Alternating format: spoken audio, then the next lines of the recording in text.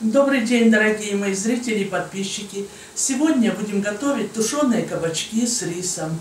Очень вкусное блюдо. Надеюсь, вам понравится и будет оно частым гостем на вашем столе. Давайте готовить.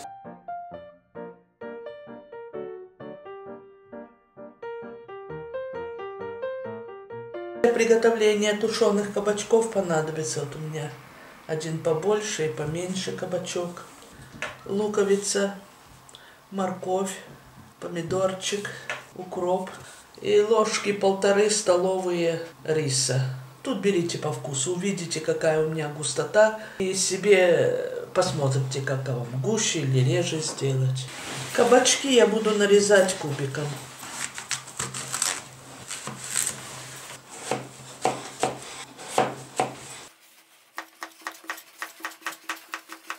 Порезала кабачки. Порезанные кабачки я уложу в кастрюльку. Такая у меня с антипригарным дном. Посолю. Просто посолю, пока не по вкусу. И ставлю на малый огонь минут на 10-15. Они станут мягче кабачки и пустят сок.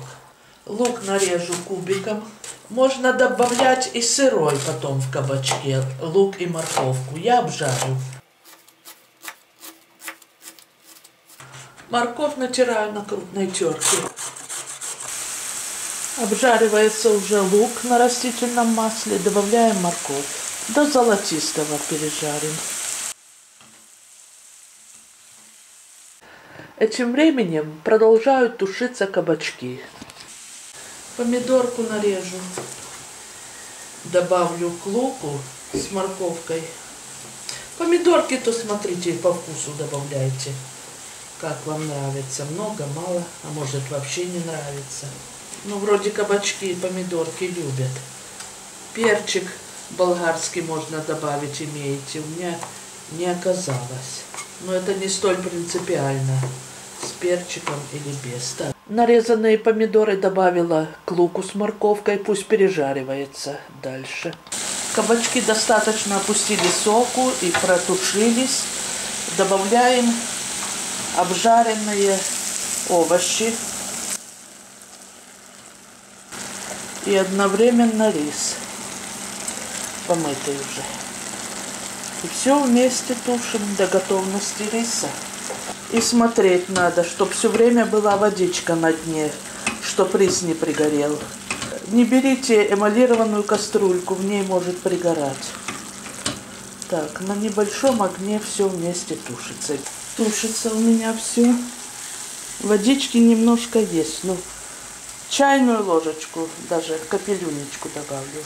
Чуть-чуть добавила водички, чтобы дно сухое не было. Вообще-то у меня кастрюля с антипригарным дном, так что я не сильно переживаю, что пригорит. Рис уже у меня сготовился, я попробовала, мягенький. 12 минут у меня готовился он.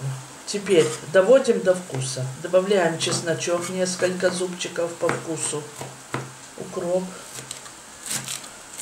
Чтобы блюдо наше было не слишком диетическим, добавим ложку, две сметаны. Но можно и не добавлять. Так, посолить надо у меня. Перчику. Чесночок и укроп. Перемешиваем.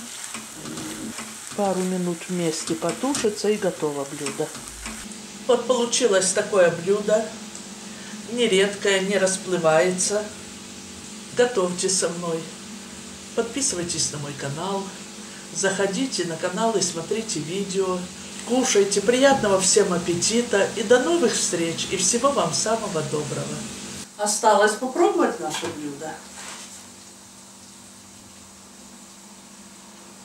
Очень вкусно, очень советую.